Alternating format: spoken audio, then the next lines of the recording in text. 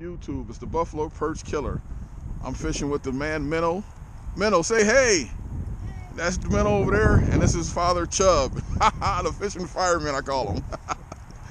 We're out here, out here perching in the rain at the Small Boat Harbor.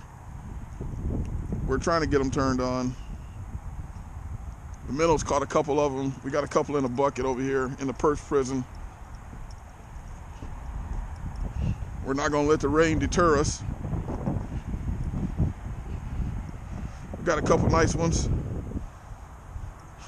Minnows fishing with a firecracker like his pops. Show the people what y'all fishing with. What, what kind of jig you're fishing with. It's called a firecracker. To, to minnow, how many you got minnow? Two, three, four? How many he catch so far? Oh yeah, he's still in the lead. I think I got three. Uh-oh. We gotta catch up. It's a beautiful day though. Small Boat Harbor, home of the perch killer.